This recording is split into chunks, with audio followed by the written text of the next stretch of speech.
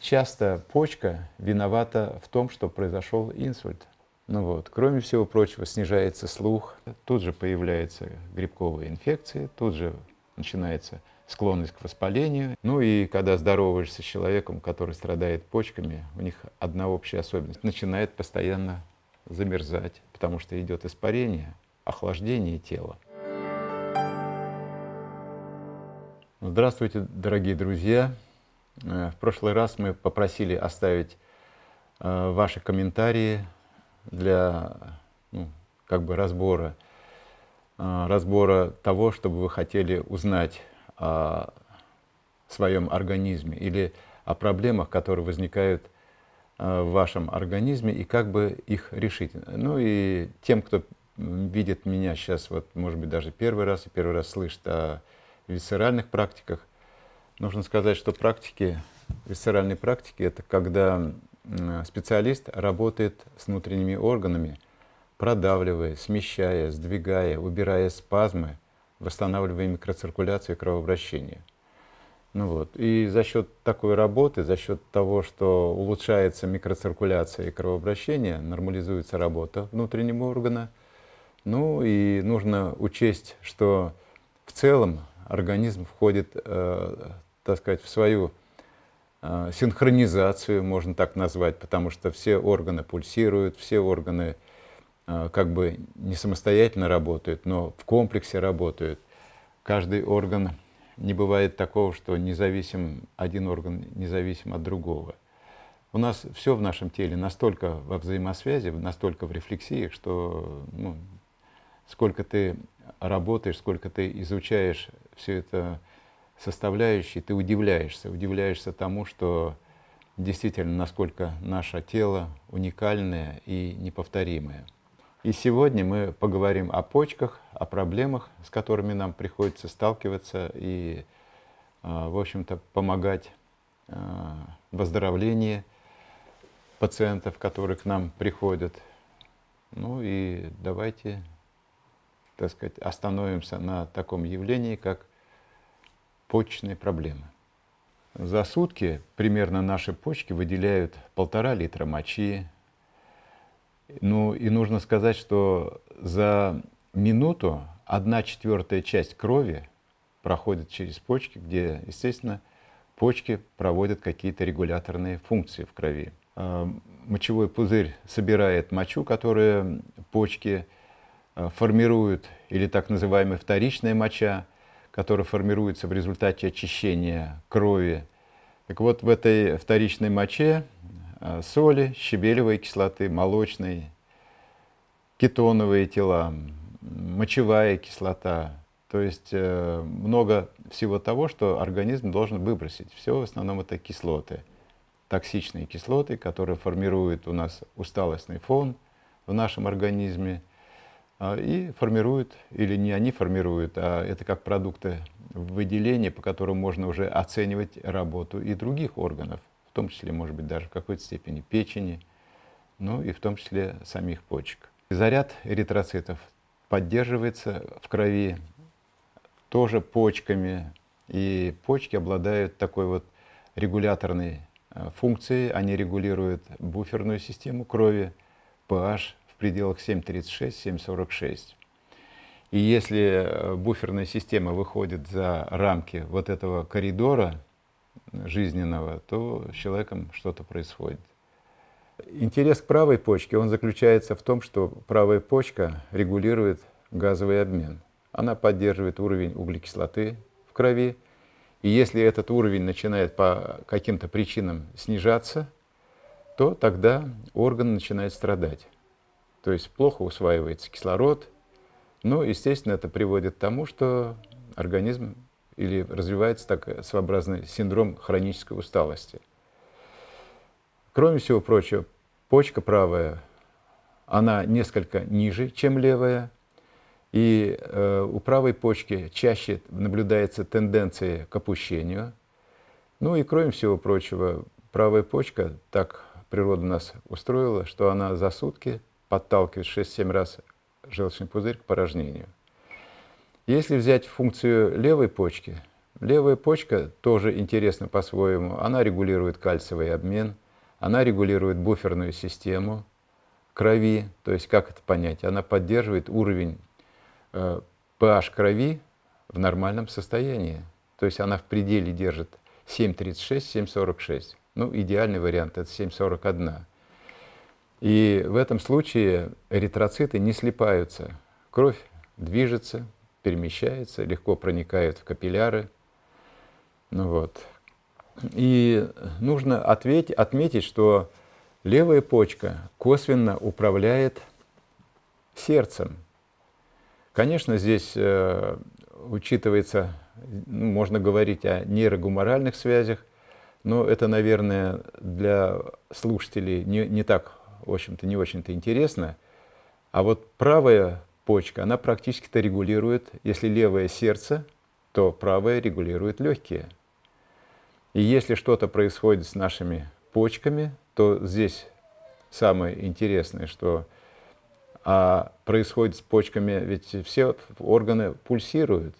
И когда приходится просматривать пульс левой и правой почки, а есть такая тема для исследований, когда на руке есть определенные участки, а, где можно послушать и левую, и правую почку. Так вот, если пульс левой и правой почки различен, то этот пульс нам указывает на то, что функция почек одна отстает, а другая опережает работу.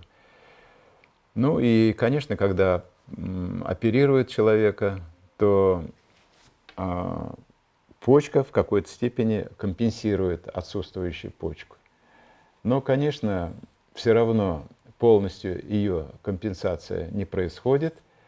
И поэтому, конечно, наша задача э, таких э, пациентов, которые обращаются к нам за помощью, Э, подсказать, что нужно делать для того, чтобы как бы улучшить, для того, чтобы улучшить обмен почки, которая взяла на себя нагрузку, ну и улучшить качество жизни человека.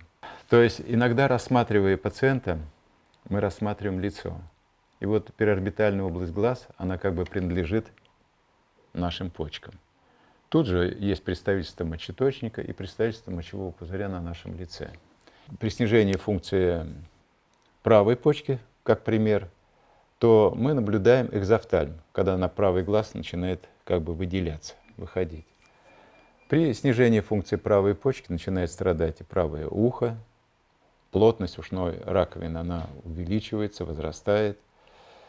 Ну вот. Кроме всего прочего, снижается слух, это опять же связано с тем, что в почке, почка и ткань барабанной перепонки имеется так называемая рефлекторная связь, рефлексия.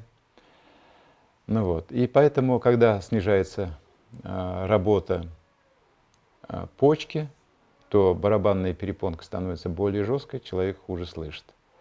Ну, а в некоторых случаях даже а, появляется и серовыделение, это для того, чтобы сохранить, защитить барабанную перепонку. Наша, наш, нас природа так создала, что ухо защищается вот таким вот образом. Потому что как только э, кровообращение самой барабанки, барабанной перепонки снижается, тут же появляется грибковая инфекция, тут же начинается склонность к воспалению, и вот тогда наше ухо воспаляется, и чтобы этого не было, организм организует серовыделение, закрывая эту барабанную перепонку. Э, со стороны, э, собственно, шеи тоже возникает напряжение. Напряжение мышц. Мышцы становятся более плотными. И при исследовании шейного отдела, особенно вот боковых поверхностей, мы находим вдруг у пациента боль. А чем же объясняется эта боль во время поддавливания шейного отдела? Ущемлением нервных волокон нервные волокна, которые проходят через мышцы, которые управляют кровоснабжением глаза, э, предположим, э, нижней челюсти, кровоснабжением нижней верхней челюсти, обоняние. И опять же, э, слуховой аппарат, то есть ухо, память наша, ну, мозговое кровообращение, это все шея. и самую основную роль, нагрузку несет на себя именно шейный отдел. И часто почка виновата в том, что произошел инсульт. Как это понять? Мышцы напрягаются, ущемляются нервные волокна, а импульс проходит по оболочке нервного волокна, импульс перестает проходить, сосуды схлапываются, и, естественно, происходит инсульт. Ну и, естественно, мы-то э, часто, пациенты к нам приходят, которые принимают различные э, препараты от давления, но здесь нужно представлять себе такую картину интересную, что если э, с вами, если представьте, ущемляется шея, ущемляются нервные волокна, то сосуды, просветы сосудов уменьшаются за счет того, что нервное волокно не доносит импульсы. И тогда поднимается давление, чтобы пробить это схлопнувшееся волокно. Но э, мы же этого не понимаем. Наша задача — побороться с давлением, и мы принимаем таблетку от давления. Давление снижается. К чему это приводит? К тому, что сосуд, кровь не поступает в этот сосуд, который должно было прокачаться давлением. Ну и в результате происходит инсульт. И если мы с вами возьмем статистику, то из 10 инсультов, 8 инсультов, или будем говорить 7-8 инсультов, оно связано с шейным отделом. А проще с почками. Напряжение, которое создается, ущемляет, и в результате происходит вот такая, можно сказать, трагедия. У кого-то микротрагедия, у кого-то действительно большая трагедия. Естественно, когда возникает проблема с почками, то возникает напряжение не только на шее, но и в грудном отделе, в поясничном отделе.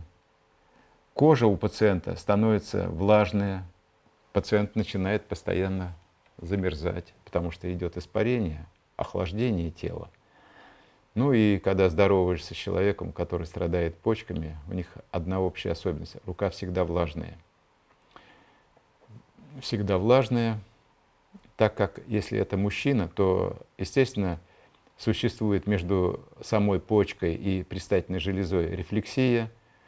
И вот почка, как только функция почки начинает страдать, то возникает неадекватность кровообращения самой простаты. Простата плохо кровоснабжаемая, и это приводит к тому, что она становится объектом, мишенью для всех вирусов, которые проживают в нашем теле. Представьте, в, наш, в нашем кишечнике около 5 килограмм только одних бактерий. 5 килограмм. Бактерии, а там это бактерии, вирусы, грибки. Ну и, естественно, они сразу находят то место, где сниженный кровоток. И, естественно, формирование, э, скажем, в простате проблемы – оно сопровождается тем, что туда приходят вирусные инфекции или грибковые инфекции. А, клетка фаршируется вирусами, она начинает увеличиваться в объеме, одна, вторая, сотая, тысячная, и в результате возникает так называемая гиперплазия. А через какой-то промежуток времени эта гиперплазия переходит в другое состояние. То есть ткани уплотняются, начинается поддавливание уретры – ну вот, а появляется остаточная моча, остаточная моча опять затекает в почки, ну и, естественно, почка инфицируется, потому что остаточная моча – это своеобразный бульон, опять же, для вирусов, которые всегда там имеются. Ну и вот, и к чему это приводит? К тому, что еще больше напрягаются рефлексийные мышцы – напрягаются мышцы шеи, мышцы грудного, поясницы. И вот это все, как бы как снежный ком, вызывает определенные э, продолжения патологий. Ну и что здесь? Нужно разорвать это кольцо. А каким образом? Работа с почкой. Друзья, а сейчас мы с вами перейдем э, к блоку ответы на вопросы. И просьба, оставляйте ваши вопросы, комментарии к этому видео. В 14 лет упала с велосипеда. Был сильный удар по почке. Услышала об ампутации почки, если не распрямлюсь за два дня. Выпрямилась на осмотре и почку сохранили. Сейчас 7 лет мучаюсь с климаксом. Головокружение, шейный остеохондроз. Делаю продавливание мышц диафрагмы. Разминаю грудные мышцы и мышцы шеи. Что я еще могу сделать? И можно ли при миоме матки разминать мышцы таза? Да, конечно, даже нужно. Вообще мы так интересно устроены, что отток ликвора э, из головы осуществляется э, как бы в малый таз. То есть по передуральным пространствам ликвор, который формируется желудочками нашего мозга, он стекает по передуральным пространствам и всасывается в сосуды малого таза. Так вот, представьте, если в малом тазу повышенное давление в сосудах, в венозном русле, то всасывание происходит, ну, скажем так, с большим напряжением, и тогда идет сдавление мозга, и как один из вариантов это развитие энцефалопатии. У женщин это как раз вот климактерический период, у детей тоже такая же ситуация может э, появляться в результате того, что у ребенка застой в малом тазу формируется. Ну, причины здесь разные. Ну, по крайней мере, как один из вариантов, это работа с органами малого таза. Ну и, естественно, а, нужно обратить внимание, что нет ли там а, проблемы, связанные с аортой, с подвздошными артериями. Если проблема подвздошных артерий, то здесь, конечно, бы лучше обратиться к специалисту, который помог бы э, снять напряжение, снять, э, сделать их более эластичными за счет э, манипуляций на животе ну, а дальше идет работа. Работа, опять же, связана на восстановлении микроциркуляции в органах малого таза. Естественно, тогда э, вот этот климактерический период проходит значительно легче, с меньшим напряжением. А то бывает так, что вообще проблемы уходят после двух-трех манипуляций на органах малого таза, на животе. Ну и если вернуться к прошлому материалу, который был, который обсуждался, то есть одна такая интересная заметка в газетке, так, ну, я ее вырезал для себя, оставил. Э, будучи, э, скажем, в центральной России, в одном из городов, я в местной газетке прочитал о том, что одна женщина, э, скажем, ушла от онкологии, начав пить соду. Ну, вот. И как-то приехала женщина у которой была проблема с э, маткой, то есть у нее была большая миома на 15 недель. И я ей предложил провести эксперимент. А, так как я ей показал ее кровь, которая достаточно густая, и предложил, давай-ка попей соды, а давай-ка мы сейчас с тобой поголодаем на соде. Ну вот. И предложил ей поголодать, и в течение 10 дней 6 чайных ложек в день она принимала соды, ну вот. И, естественно, голод. И причем, э, конечно, самый э, такой неприятный день был второй день. А после второго дня, дня восстановилось такое интересное равновесие. И она, в общем-то, продолжала работать. Причем голод на соде, он, э, скажем так, не вызывает слабости, не вызывает никаких там... Обычно, когда люди голодают, все-таки идет запах изо рта. А здесь запаха нет, кровь идеальная, мы контролировали ее кровь. И получается что? Что организм за счет того, что э, электролитные свойства крови значительно улучшились, заряды эритроцитов э, восстановили, восстановились за счет приема э, такого вот большого количества соды, да на голоде, то есть идеальная кровь. И организм съел, и буквально съел эту миому, и если рассматривать э, вот этот процесс, то было нам очень интересно, что после того, как она вышла из этого голодания на содовой воде, то ее миома уменьшилась где-то на 5 недель. То есть она подождала некоторое время, потом еще недельку поголодала, но уже, конечно, а, уменьшив количество потребления соды. Но, тем не менее, это восстановило то есть практически полностью она исчезла. И здесь, конечно, во время такого голода полезно поддавливать, проводить манипуляции на органах малого таза, да и не только на органах малого таза. Естественно, э, поддавливать область, э, скажем так, подвздошных артерий, тут тот участок артерии, который обеспечивает кровью э, матку. Если этого не делать и просто голодать на содовой воде, то я думаю, что результата такого не получишь, который хотелось бы. Э, очевидно, застойное явление в малом тазу, оно коснулось и мочевого пузыря. И мочевой пузырь, в свою очередь, а, как ответная реакция, дал реакцию на почки. Естественно, э, поддавливание миомой мочевого пузыря, нарушение оттока мочи, это привело к тому, что почки, функция их тоже снизилась, и, как естественно, возникло напряжение на шейном отделе, произошло сдавление – нервных волокон, и за счет чего нарушается кровообращение головы, и вот тогда появляются головные боли, тогда возникает нарушение кровообращения глаза, уха, щитовидной железы, ну, естественно, зубы начинают страдать, обоняние. Так что здесь вот, э, конечно, э, самостоятельно э, можно, наверное, это решить, если вы хотя бы просмотрите предыдущие материалы, связанные непосредственно с манипуляциями на органах малого таза, на органах на животе. Но будьте внимательны, потому что при ишемии аорты а, форсирование или, э, скажем так, э, крайности недопустимы. Сильные надавливания, смещение, сдавление, а тем, тем более работать с животом с какими-то предметами – используя подручные предметы, нежелательно. Поэтому, конечно, не должно быть фанатизма. И лучше бы, конечно, чтобы всем этим руководил практик, который знает висцеральные манипуляции. Как себе помочь, чтобы уменьшить кисту на почке?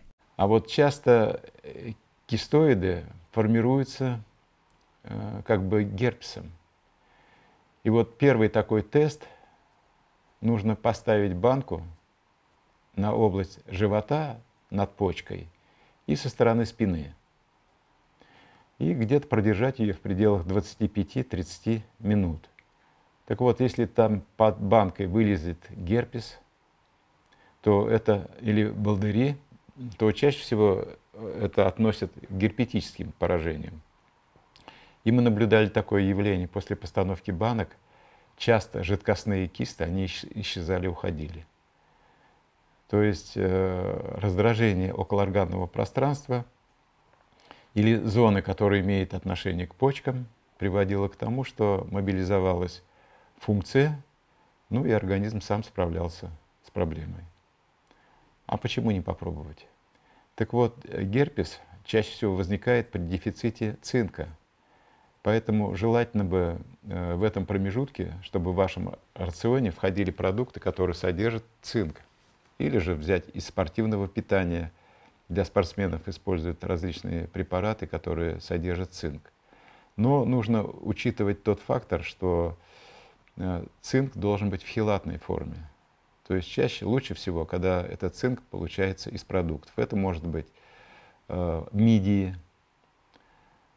Причем у них э, достаточно большое количество по содержанию цинка, э, и здесь не надо какую-то определенную меру пере, ну, как бы переедать. А почему? Дело в том, что избыток цинка может вызвать и послабление, и даже отравление. И поэтому медями иногда, когда их переедают, травятся. И это связано как раз с избытком цинка. Ну, цинк в семечках тыквенных. Цинк можно найти и лук – репчатый, но лук лучше, конечно, чтобы он был приготовлен, притушен, приварен, или луковое пюре, луковый суп, вот в таком плане. Ну и я думаю, даже вот я сейчас взял и листаю книжку, мне понравилась книжка про микроэлементы, автор Скальный. Вот такая вот книжка. Интересно. Здесь как раз описаны э, те продукты, где, в которых наибольшее количество меди, наибольшее количество цинка, селена, который так нужен нашему организму. Болит под правым ребром. Продавливая левую почку, именно туда боль отдает, под правое ребро. Что это? Я бы мог предположить, что одновременно продавливая почку, вы задеваете и аорту. А от аорты идет э, кровообращение и печени. И если с печенью ну, застойные явления, там, плохо кровоснабжаемое, то за счет такого поддавливания ответная реакция печени допускается. Но это лишний раз говорит о том, что нужно отработать и печенку, привести ее в порядок, ну и быть повнимательнее, просмотреть, как эта аорта, не очень ли она напряжена, не спазмирована ли, не покрыта ли она холестерином. То есть очень частое такое явление. Покажите, как прокачать почки. Ну, показать, наверное, вам нужно для этого все-таки просмотреть, просмотреть материалы практики. Но, опять же, желательно, чтобы с вами кто-то поработал. Кто-то поработал, кто занимается этими практиками. Давление должно быть не очень жесткое, умеренное, чтобы боль не была запредельной, то есть определенный дискомфорт должен присутствовать при работе. Конечно, почка, когда функция ее нарушается, она становится болезненной. Ну и вот, и здесь не должно быть фанатизма при работе. Еще раз напоминаю, лучше не до, не доработать, чем переработать. И поэтому желательно бы, чтобы специалист проводил эти мероприятия, потому что э, по видео, к сожалению, силу давления не подскажешь, поворот, направление, с которым ты работаешь, с почкой. Ну, вот. ну и внешние признаки. Он должен знать внешние признаки, реакция, реакция языка, реакция глаз, реакция вообще нашего тела. Ну вот. И обязательно, конечно, в таких ситуациях нужно обращать внимание на мышцу или абсоус, на которой лежит почка. Всему этому мы э, обучаем у себя в центре на семинарах. Ну вот. И уже обученные, обученные специалисты способны решить подобную задачу. Могут ли заработать почки, если человек на диализе? Вы знаете, конечно, просто нашими одними манипуляциями здесь э, справиться, можно облегчить состояние, будем говорить про облегчение. Но решить задачу, наверное, одними манипуляциями не сможем. И, кстати, между делом, может быть, я прорекламирую еще одного человека. Вы наберите в интернете купеев.ру. Это человек, который берет с диализа пациентов, ну и восстанавливает их. Попробуйте с ним стыковаться, связаться. Конечно, э, для висцеральных практик э, такие пациенты, они не совсем э, как бы приятные, но чтобы решить задачу такого больного или нашего пациента, все-таки здесь приходится прикладывать массу знаний и особенность это работы с почками, что, естественно, на начальном этапе а, манипуляции не всякий может исполнить. Ну и, естественно, и нужна использоваться фитотерапия, и герудотерапия, и апитерапия. То есть здесь надо, скажем, владеть несколькими темами, которые позволяют в какой-то степени в плюс сдвинуть состояние почки. Какое питание вы применяете, а может и убираете что-то из рациона при снижении функции почек? Конечно, на первых этапах даже ограничиваем потребление мясных блюд, потому что в результате потребления большого количества мяса образуется мочевина, молочная кислота, закисляющая. Естественно, организм э, очень тяжело реагирует на все это – Кроме всего прочего, нужно понимать, что почки не любят холода. И исключить из рациона все, что охлаждает. Ни в коем случае холодное молоко, ни в коем случае холодное пиво, ни в коем случае холодный квас, холодное шампанское. Это все то, что ранит почки, травмирует их. И почки не любят холодной воды. Ну и, принципе-то, даже холодной пищи. Вот таким образом можно сказать. Ну и постарайтесь воду пить всегда подогретую. Ну и желательно э, вода должна быть щелочной. Вот. И кроме всего прочего, конечно, и многие авторы сейчас пишут про ОВП. ОВП отрицательное, ну, что делать?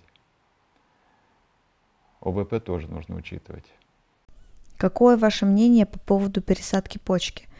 Уже пересадили, а как подольше сохранить почку?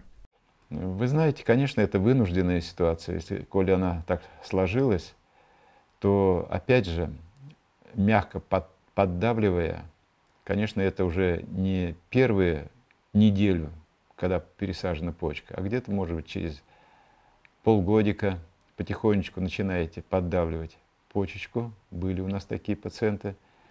Ну вот. Почка, улучшается микроциркуляция, кровообращение. И здесь нужно понимать, что со временем, год-полтора, э, скажем так, клетки почки, они начинают заменяться, заменяться своими собственными. Ведь у нас, мы с вами знаем, что если взять печень нашу и удалить даже треть этой печени, то часто печень восстанавливается. Через 2-3 месяца печень восстанавливается. И вот такое же свойство и у наших почек. То есть нужно потихонечку помочь, чтобы чужая ткань заменилась своей. Ну и использование. Конечно, здесь нужно советоваться обязательно с лечащим врачом. Другой вариант, если врач не знает этих висцеральных практик, конечно, он подсказать не может. Но нужно искать доктора, который немножко знаком с этим. Подписывайтесь и ставьте колокольчик для того, чтобы не пропустить новые видео. В следующем видео мы уделим больше внимания это кровообращение и артериальная гипертензия и гипотензия. Как бороться с повышенным и как бороться с пониженным давлением. Я думаю, что тема достаточно интересная для всех. До встречи, друзья.